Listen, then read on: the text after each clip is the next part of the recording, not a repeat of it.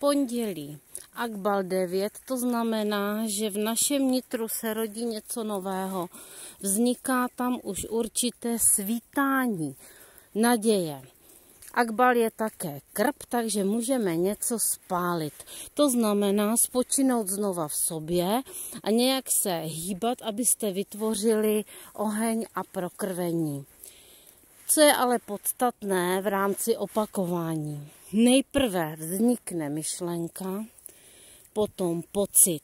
Ten pocit vytváříte samozřejmě jaksi uměle nebo násilím, nebo na základě dřívějších vzpomínek a zkušeností.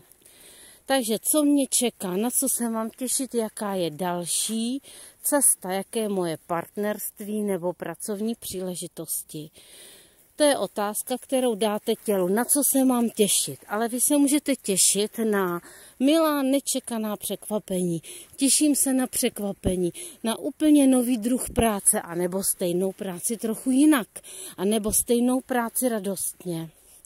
Těším se na partnerství, jak asi může vypadat. Ani to netuším, neumím to popsat, ale můžu se těšit, těšit se na překvapení, jako malé dítě. Takže začnete vědomým rozhodnutím, co chcete. Pokračujete znalostí, že musíte vytvořit myšlenku a pocit. Už toto je vlastně krok. Tvoříte pocit nejlépe v aerobním pohybu.